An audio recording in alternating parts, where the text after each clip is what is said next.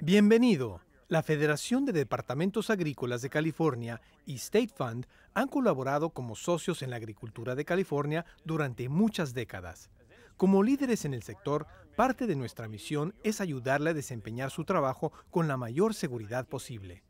Desde 1980, los accidentes relacionados con los vehículos para todo terreno, o ATV, han provocado más de 9.000 muertes. Cada año, estos accidentes resultan en más de 150.000 consultas en salas de urgencias. Creamos este video para evitar que usted, su familia y sus empleados formen parte de estas estadísticas.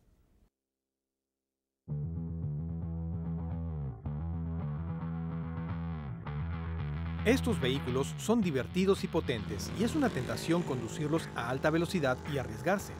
Pero esto se lo debe dejar a los profesionales, pues tiene una responsabilidad que cumplir. No hay cosa más importante que comenzar con una buena capacitación y bastante práctica. Antes de montar, consiga un instructor profesional y con experiencia, posiblemente por medio de su concesionario de vehículos ATV o de un curso acerca de la operación básica y de los conocimientos necesarios para usarlos. Los ATV fueron diseñados para que el conductor sea activo, los vehículos que requieren de conductores activos, como las motocicletas o las motos para la nieve, requieren del movimiento del conductor para ayudar a controlar el vehículo. Esto requiere cierta habilidad, concentración, juicio y fuerza física. Debe practicar sobre terreno plano y abierto, alejado de otros vehículos, hasta que se vaya familiarizando con el ATV que vaya a conducir. Una vez que se sienta cómodo, puede conducir sobre terreno más accidentado y sobre laderas. Invertir de antemano en esta capacitación le rendirá muchos frutos.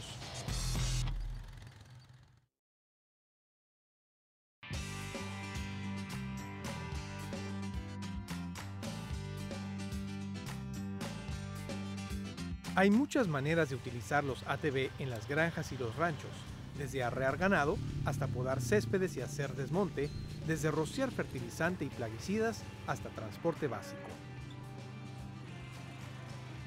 Una cosa que la mayoría de estas funciones tienen en común es que se efectúan en terreno accidentado y con frecuencia bajo condiciones que no son las ideales.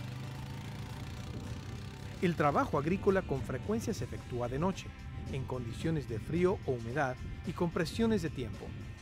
Estas condiciones de estrés pueden afectar su operación y el equipo, tómese el tiempo para leer y comprender el manual del fabricante del ATV o del vehículo de servicio agrícola o FV que vaya a utilizar.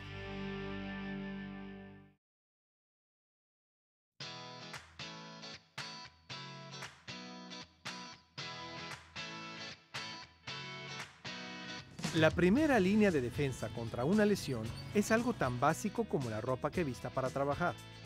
Si sabe que va a conducir un ATV Asegúrese de usar pantalones gruesos o de mezclilla y una camisa de trabajo de manga larga o una chaqueta para evitar lesionarse con la vegetación. Siempre use botas, ya que los zapatos tenis no son suficientes para protegerle los pies y los tobillos. El uso de guantes impedirá que se raspe los dedos y, en clima frío, son indispensables para evitar que las manos se le entumezcan y pongan en peligro su capacidad para controlar el vehículo. Los manuales y las calcomanías de advertencia de casi cualquier tipo de ATV recomiendan el uso de un casco autorizado y protección para los ojos. Dependiendo del uso específico que le dé al ATV, el plan de prevención de lesiones y enfermedades de su lugar de trabajo y las reglas de seguridad del mismo, es posible que el uso de un casco y de protección para los ojos sea un requisito. Consulte de antemano a su supervisor hacemos notar que las leyes de California requieren del uso de un casco en cualquier camino o terreno público. Estas son las características que debe tener un casco. Asegúrese que no se haya dañado, en cuyo caso se verá disminuida su capacidad para protegerle. ¿Se encuentra en buenas condiciones el casco? ¿Funciona correctamente la correa de la barbilla? El equipo de seguridad esencial para los vehículos de servicio agrícolas es el armazón que protege contra las volcaduras, pero este solo funciona correctamente y solo le puede proteger de las lesiones si utiliza el cinturón de seguridad. Todos los pasajeros de un vehículo de servicio que venga equipado con un armazón para proteger contra las volcaduras siempre debe utilizar un cinturón de seguridad.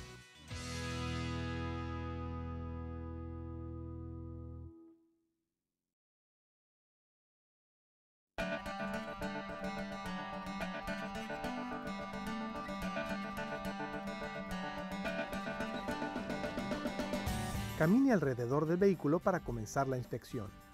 Asegúrese que no haya nada enroscado en las llantas o en el eje. Revise que ninguna de las cuatro llantas tengan cortaduras u otros defectos. Verifique las llantas con un pellizco. Si están blandas, inflalas de acuerdo a las especificaciones del fabricante. ¿Están bien apretadas las tuercas? Asegúrese de que esté lleno el tanque de gasolina, pues se arriesga a tener que hacer una larga caminata si no lo hace. Revise que tenga suficiente aceite y que no haya fugas de aceite.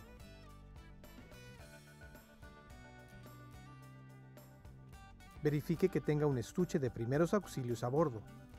Aunque no lo necesite, nunca sabe si otra persona lo podría necesitar. Pruebe que los pernos y las placas del piso se encuentren firmemente en su lugar y no estén sueltos. Revise los cables del regulador y los cables de los frenos para ver si no están desgastados. Los ATV tienen varios procedimientos para su encendido.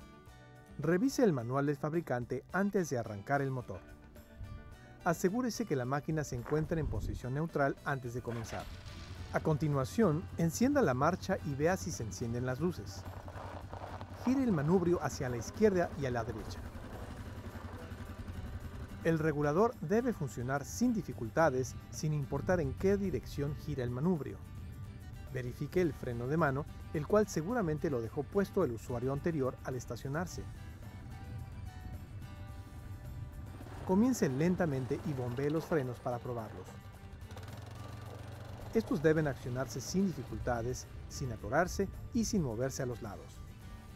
Si mantiene una bitácora, anote la fecha y su firma y tome apuntes de cualquier problema que requiera atención. Y asegúrese de avisarle a su supervisor acerca de cualquier problema que detecte.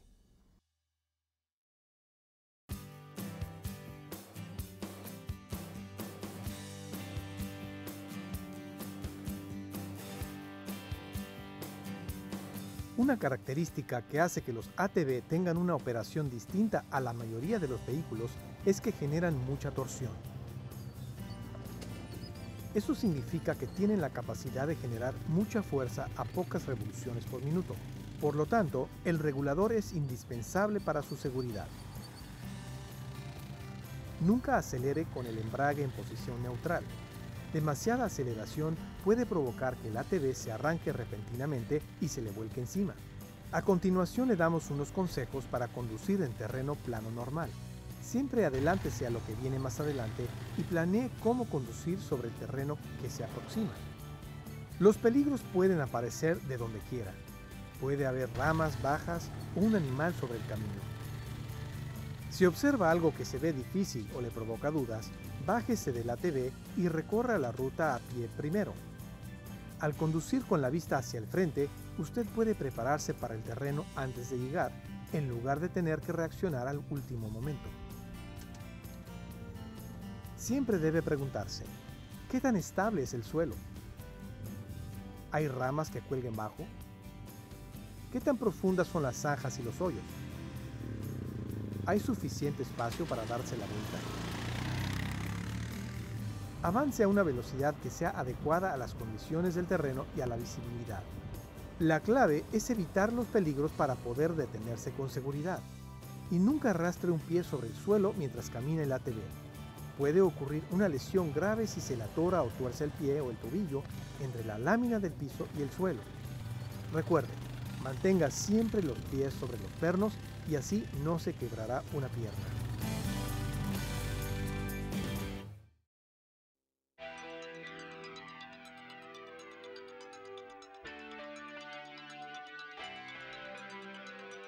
Cada vehículo tiene un centro de gravedad, o punto en el que el vehículo se encuentra equilibrado en todas direcciones. Cada modelo de ATV es un poco distinto, pero el centro de gravedad típico de un ATV es como 6 pulgadas por arriba del centro del eje y como 6 pulgadas hacia atrás desde el punto medio entre los dos ejes. Conforme añadimos peso a un vehículo, comenzando con el peso del conductor, más cualquier artículo que lleve encima, el centro de gravedad cambia, desplazándose más arriba o bien hacia adelante o hacia atrás, dependiendo de dónde se coloque la carga. Por lo tanto, cuando el ATV se encuentra completamente cargado y ladeando una colina, el centro de gravedad puede estar peligrosamente cerca del punto de volcadura. En esta situación, pegarle a un tronco o una piedra puede ser suficiente para provocar una volcadura. Los conductores siempre deben estar conscientes de lo que llevan a bordo o remolcando y cómo esto puede afectar al centro de gravedad. Los conductores con experiencia pueden aprender a equilibrar el centro de gravedad que siempre está cambiando si son conductores activos.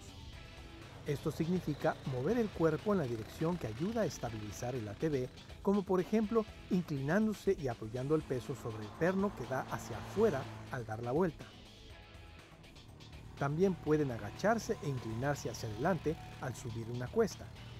Con el tiempo, esto se vuelve un acto reflejo y no tendrá siquiera que pensar en que tiene que ser un conductor activo.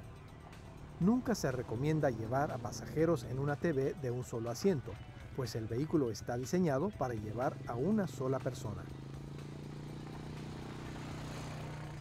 Los ATV se diseñaron para transportarlo por terreno accidentado y no para llevar grandes cargas. Cualquier carga adicional afecta directamente el centro de gravedad, así como su maniobrabilidad y el frenado. Siempre debe usar la rejilla para llevar cualquier carga en la parte delantera o trasera, colocándola lo más cerca de la parte del medio de la TV como sea posible. Utilice un lastre o balastro si fuera necesario para equilibrar la carga.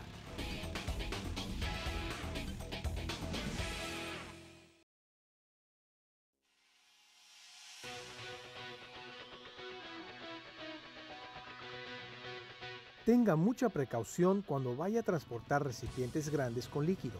Los líquidos en un recipiente sin amortiguamiento pueden agitarse hacia adelante y hacia atrás y de lado a lado, provocando inestabilidad a su vehículo.